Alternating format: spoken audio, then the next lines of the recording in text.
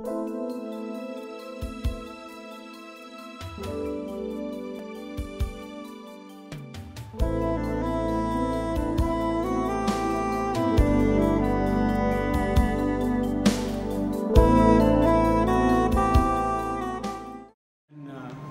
I met Johnny in Delhi. He had come to my exhibition and uh, he spoke about this group. He said, there is a new group for Sudan, you should see their work and you should inaugurate the show. And I said, Johnny won't be there on the 25th. I'm going to Chennai and I won't be there. But uh, certainly I will see the show. I'm glad I came today because uh, if I had not seen, I would have really missed something. But I think uh, it's a superb show each one of you you have shown high quality of what you could achieve in terms of content in terms of technique in terms of presentation so i think um, a rare combination of a group of artists who do not come from a same school or same you know they are coming from different places how you could come together to present something like this is very important because normally what happens is a group exhibition is we all know each other very well, same school, we studied there, and so we continue. But here it's not like that.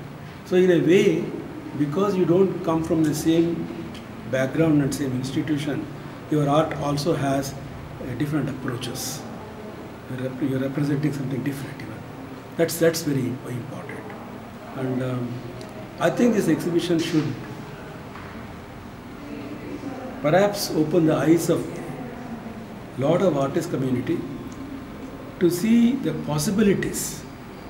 No, I know artists are very good and they have got possibilities, but then the possibilities in a different sense, this exhibition shows that.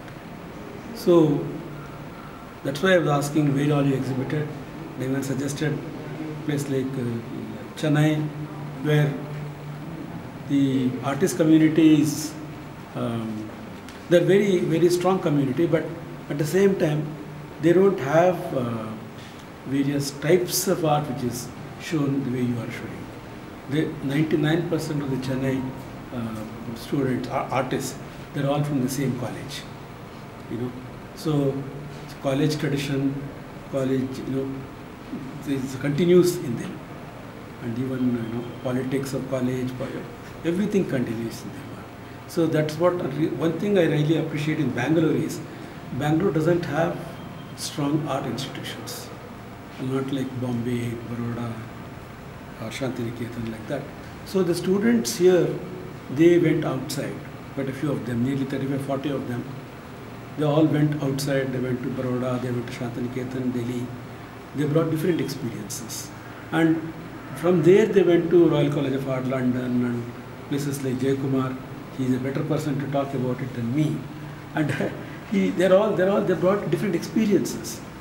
So the experience of each one of them counts a lot in Bangalore. So Bangalore has got a different kinds of artists, you know, from, from drawing to installation, from drawing to, painting to sculpture to installation, site-specific video art, everything. That is a very big combination in Bangalore. And um, I hope our Bangalore artists have all come and seen this exhibition, superb exhibition.